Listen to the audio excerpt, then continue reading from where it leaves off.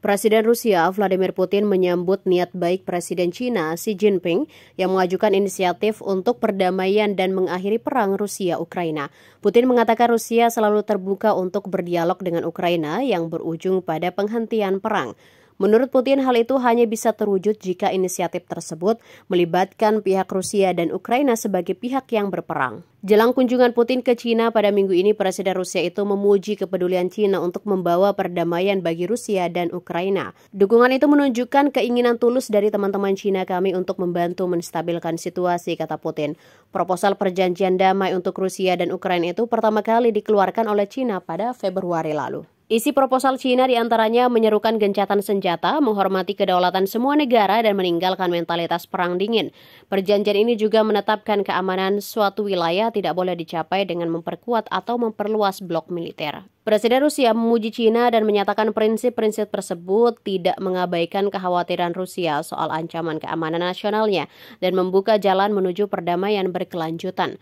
Namun Putin menyayangkan bahwa Presiden Ukraina Volodymyr Zelensky tidak mendukung upaya apa pun yang berujung pada negosiasi dengan Rusia. Sayangnya, baik Ukraina maupun negara-negara barat tidak mendukung inisiatif ini, kata Putin.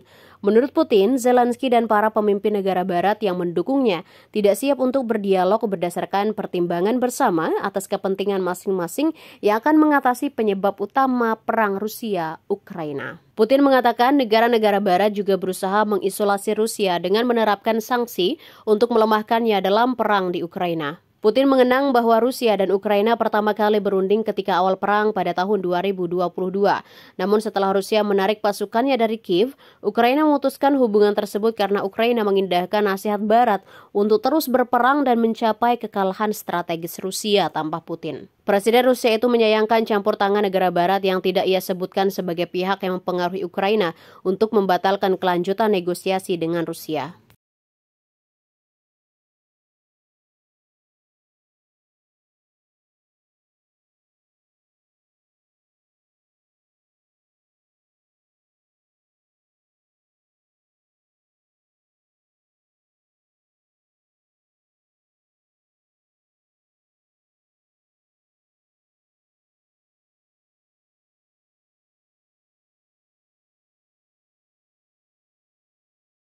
Download Tribun X sekarang.